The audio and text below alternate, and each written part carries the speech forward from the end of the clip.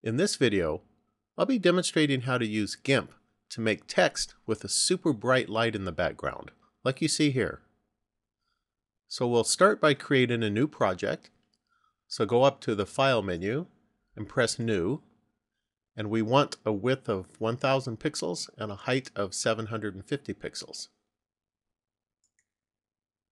And this image is a little bit larger than our work area here, so let's resize our view area.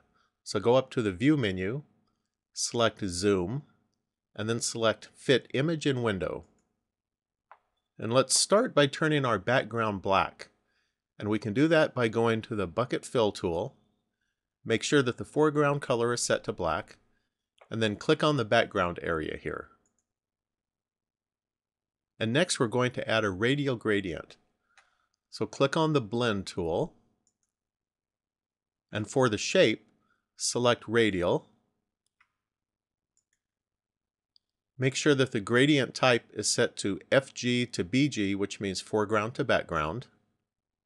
And then we want to swap the foreground and background colors, so click this little double arrow right here. And then place your cursor at about the center of the background and then press and hold the mouse button and drag to the side.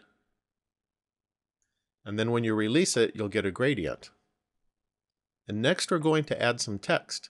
So click on the text tool, set the text type to sans bold, set the size to 200, and then set the color to black.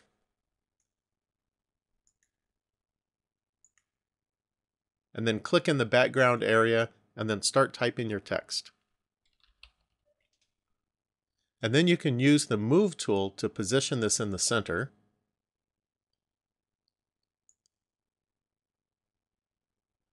And then next, select the background layer by clicking on it.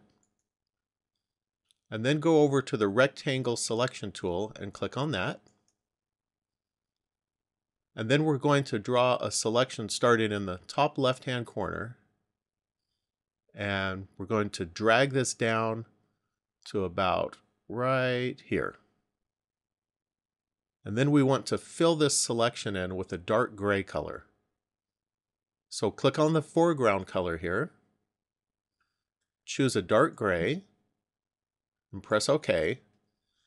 And then select the Fill Bucket tool and then make sure that you have this checkbox checked, which is Fill Whole Selection. And then click in the selection area. And now you can remove the selection by going up to the Select menu and select None. And now we need to make a duplicate of our text layer. So select the text layer, and then press the Duplicate button to duplicate it. And for now, you can turn the duplicate layer off.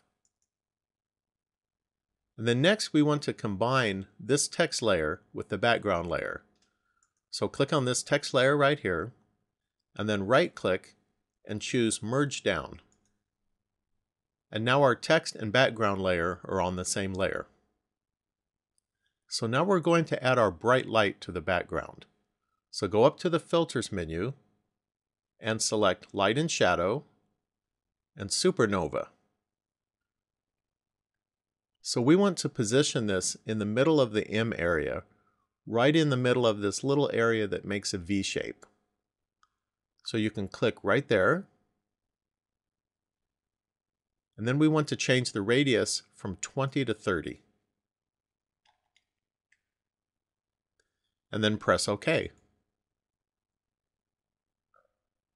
And next we're going to add a shadow down in this area right here. So turn on this text layer right here and select it. And we need to invert this text so that it's upside down. So select the flip tool right here. Make sure that it's set to vertical and then click on the text. And then next we need to move this down. So click on the move tool and then move the text down. And if you press the control key while you move it down, then it'll go straight down. And then position it to where it's just right below the other text. And now we need this text layer to be the same size as the background layer. So we can do that by right clicking on the layer and then select layer to image size. And then next we need to change the shape of this shadow so that the edges of the shadow line up with the rays of light that you see here. So we're going to add some guidelines to make sure that we have this right. So first go up to the View menu and make sure that Show Guides is checked. And then go up to the ruler area that's on top of your image here. And while you're in this area, press and hold the mouse button and then drag down. And this will pull a guideline down.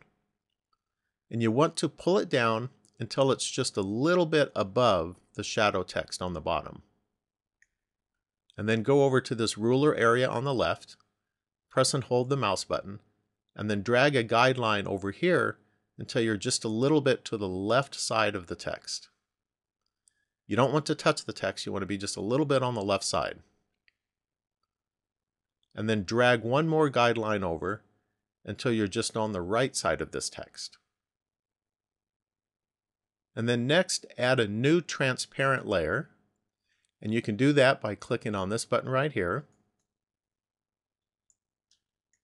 Make sure that the layer fill type is set to transparency and press OK. And then for this next step, we're going to zoom out because we need more area to work with. And now select the pencil tool, which is this button right here, and then change the color to red set the brush to a hard brush, which is this one right here, and then set the size of the brush to 5. And then go over to the center of the bright light and click one time, and then hold down the Shift key and drag your mouse. And what you want to do, you want to intersect this spot where we have the vertical and the horizontal guidelines. And we want our new line that we're drawing to run right through the middle of that. And then drag this down to the edge of the background and then click. And then go to the center again, click on it once, and then hold down the shift key again and do the same on this other side so that we're intersecting this vertical line and this horizontal line. And then bring this out to the edge also. And then click. And now we're going to add one more guideline. So go up to the ruler and click and drag down another guideline. And you want to place this one just a little bit below the bottom of this text here. And notice that the G is larger than the other letters. So you need to make sure that you get this below the G. And now select the layer that has the text. Then next, go click on the rectangular select tool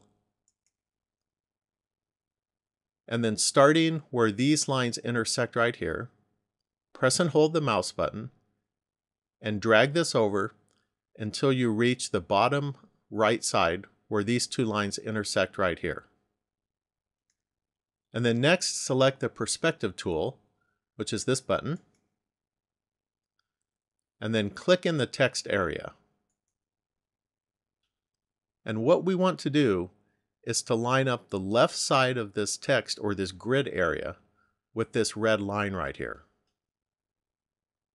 So click in this bottom left handle and drag it over until the left side of it lines up with the red line. And then we also want to make sure that it's level with this bottom guideline that we have. So that looks good. And then we need to do the same with the right side. So we'll drag this over till the right side lines up with the red line, and we're also on the bottom guideline.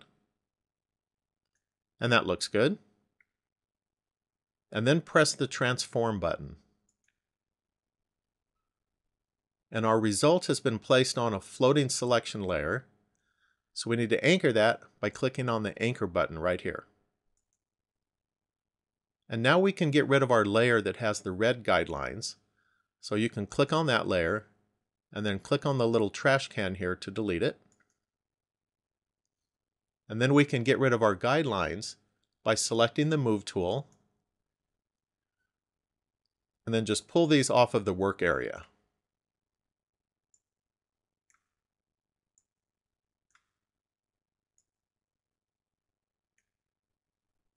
And then to zoom back into our image, I'll go to the View menu, select Zoom, and Fit Image in Window. And now we're going to add a little bit of blurring to our shadow. So make sure that you have this top layer selected that has the text, and then go to the Filters menu and select Blur and Gaussian Blur. And set the blur radius to 10 pixels and press OK. And now you can merge this shadow with the rest of the image by right-clicking on the text layer and then select Merge Down. And now our image is finished. And if you'll notice, all of the edges of our text are lined up with the rays of light. So you can see that this is a nice effect, and it's not too hard to do. Well, that concludes this video. Thanks for watching, and please subscribe and leave a comment.